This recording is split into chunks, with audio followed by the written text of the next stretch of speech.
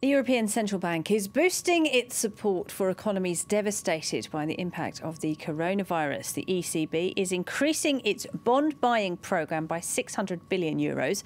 Here in France, the government is also set to beef up support for industry, including special funds for the country's technology sector.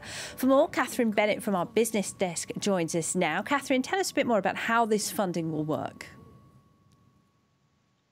Well, the French government is earmarking 1.2 billion euros just for the tech sector alone. Now, the most important part of that budget is the creation of an investment fund, and that's designed to protect French startups from being bought by foreign companies.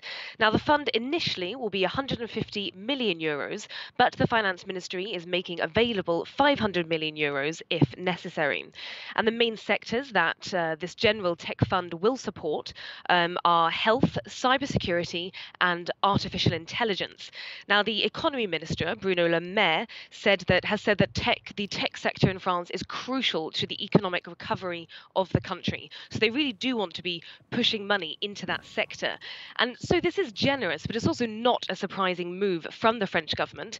Emmanuel Macron, who was the economy minister himself before becoming president, has always made an aim uh, during his mandate to support the tech sector and protect it from foreign competition. So previously, France, of course, has become known for riling the US because it imposed a GAFA tax, that's a digital tax, on the US's main uh, tech companies, that's Google, Amazon, Facebook, and Apple. And so it's likely that this move will also rile the US a little bit.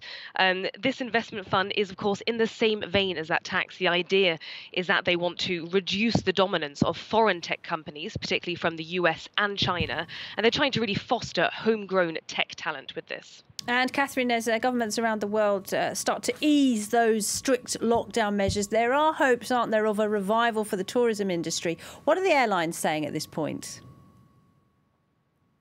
Well, obviously, that's good news for the airlines. Airlines across the world are restarting many of their flight routes, um, and we're seeing positivity in, in, the markets because of that. Just this morning, in trading in Asia, shares of Japan Airlines and Chinese Southern Airlines both surged over 9.5% in this morning's trading. And over in the EU, it's a similar thing. Um, EU countries, of course, are keen for tourism to restart and for their tourism destinations to be available for people to come and visit through those airlines. The EU Commissioner for Home Affairs agrees. Uh, she said this week that she wants countries in the Eurozone to reopen their internal borders in order to boost the economy with that travel between borders. Um, and she wants that to happen by the end of the month. Um, so we're seeing European airlines reacting to that as well. For instance, Ryanair um, is planning on opening 40% of its flights on almost all of its routes by July. EasyJet is similar. They want to get up to 75% of their flights by August. And in America, if we cross the pond, we're seeing a similar pattern there, this general optimism in the markets as well. Uh, American Airlines and United Airlines yesterday announced that they would put on more flights ahead of the summer season directed towards hot tourist hotspots in the US.